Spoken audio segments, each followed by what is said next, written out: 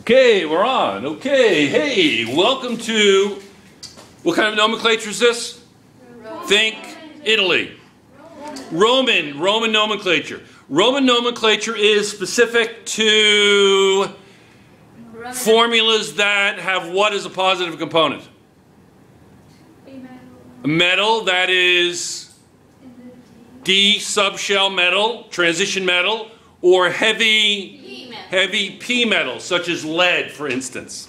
Okay, good. So it's going to be for metals that are from the D subshell. We call them transition metals or the heavy Ps. Now, so you know your, your, your positive component, the one on the left, is always going to be a metal. So where do you find, where do you find the symbol for the metal? Starts with a P. Periodic table. Excellent. Excellent. South Korea is on the board. Excellent. Two points for South Korea. Yes! This is the World Cup of Science. Welcome to the world. And this is room 263 bringing you World Cup Science. Okay, now, so, um, right. Now, the other, the negative component can either be a single ion whose formula would be found where? A single ion, such as sulfide or chloride or bromide or iodide. Don't leave me hanging here, guys. Where would you find the formula for a simple single elemental ion? Yes, the periodic table. I could see she was, she was giving me that like telepathically. She was telling me that. Excellent.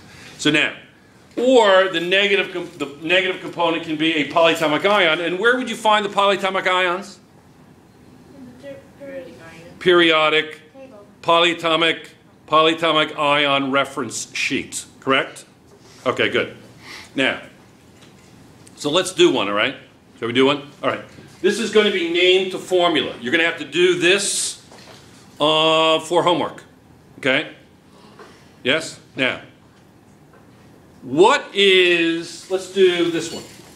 How would you write lead 2? What would that be? The ion. How would you write lead 2? No, you wouldn't say lead. You'd say what? What's the formula for lead? PB. Right? PB. Extra credit if you can if you can tell me before the end of the period why PB and not like LE? Why? What's with PB and lead? I don't understand. No, not now. Okay, so so that's going to be plus two, right? All right, now what's sulfate? What's sulfate? What's sulfate? So.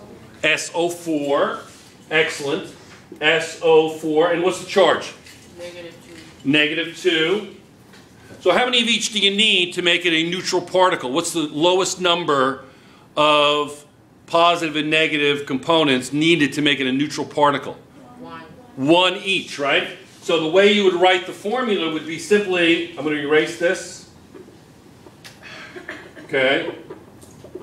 And you would write lead sulfate. PbSO4 would be lead 2 sulfate. Clear? So that's the one thing you have to do. So you have to do, so you have to do this table, okay, where you're writing going iron 2 phosphate, copper 3 phosphate, zinc 4 phosphate. Just remember this, that you're following the IUPAC rules of Roman nomenclature, correct? They're internationally accepted rules. Just remember this, that just because you can write a formula according to the IUPAC rules doesn't necessarily mean that the chemical actually exists. It's just we're practicing putting chemicals together based on simple rules. Yes? Okay? And part one named a formula. Right now, we're going to come back with part two formula to name. Be right back.